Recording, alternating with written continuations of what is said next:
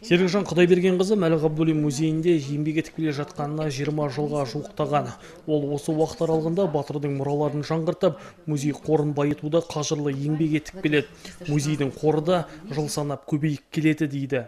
В фондах музей насчитывал всего-навсего 300 экспонатов. алғаш келген кезде музей қорында 300 экспонат қана болған. Қазіргі таңда 7500-ге жуық экспонатымыз бар. Осының өзі үлкен жетістік деп есептеймін.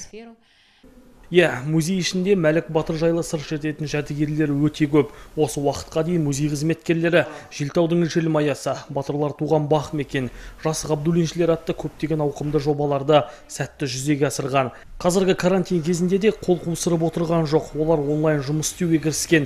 Атап айтсақ батырдың ерліктеріне сыр шертетін онлайн дәрістер оқып әлеуметтік желілерге жүктеуде. 1995 жылы ашылғаннан бастап осы музейдің ғылыми кеңесінің мүшесімін. Музей көптеген істер тындырып жатыр мен ғылыми кеңесте отырып жатырмын экспонаттық тұрғыдан.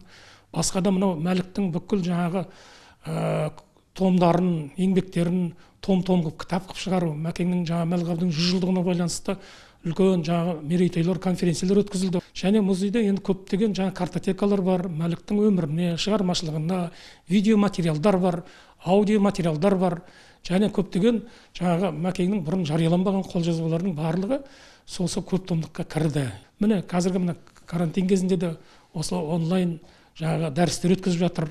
Мысалы мен өз басым мәліктің бекзаттық жаңағы ғалымдық кішіпейілдік адамгершілік қырларына байланысты дәрістер оқыдым. Мерейлі мереке қарсаңында музей қызметкерлері тұлғалық музейлер арасында республикалық фестиваль өткізуді жоспарлауда. Сондай ақ мәлік батырдың өмірі мен шығармашылығынан сыр шертетін мәлік ғабдуллиннің эпистоляралық мұрасы қазақ баласы тағылымды жобалар мен тәлімді бастамалар атты жинақтарды шығару көзделіп отыр. Абзал азаматұлы дархан сағын жахангер мұхамбетов көкші ақпарат.